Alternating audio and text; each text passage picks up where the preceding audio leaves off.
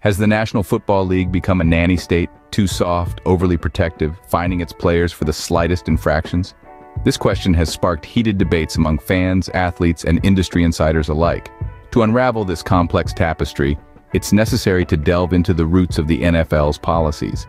The NFL, like any other organization, operates under a set of rules and regulations designed to maintain order, ensure fair play, and protect its most valuable asset, the players.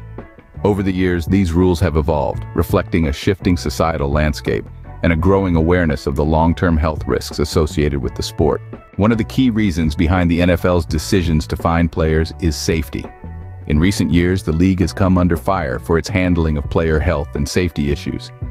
High-profile cases of concussions and their devastating aftermath have shone a spotlight on the dangers of the sport. In response, the NFL has tightened its rules, enforcing fines for dangerous play that could lead to injury. Another reason is image management. The NFL is acutely aware of its public perception. It understands that the actions of its players, both on and off the field, impact the league's image. Therefore, fines are often levied against players who breach conduct codes in a bid to maintain the league's reputation. Moreover, the NFL uses fines as a tool to ensure competitive fairness. By penalizing players for actions such as taunting, unnecessary roughness, or unsportsmanlike conduct, the league seeks to maintain a level playing field where the outcome of games is determined by skill and strategy, not dirty play, yet. Critics argue that the NFL's fining system has gone too far, stifling the game's physicality and players' individual expressions. They claim that the league is becoming too sanitized, too corporate, and in the process, losing some of its raw appeal. So, where does the truth lie? It's a delicate balancing act.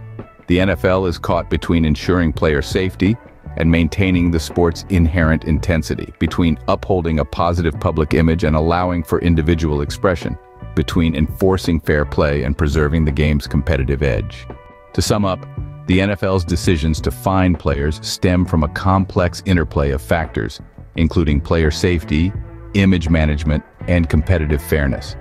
However, the implementation of these fines has sparked controversy, with critics arguing that the league has become too soft and overly protective. It's a contentious issue that underscores the ongoing evolution of the sport and the challenges it faces as it navigates its future. The debate rages on, and only time will tell whether the NFL's approach will evolve or remain steadfast.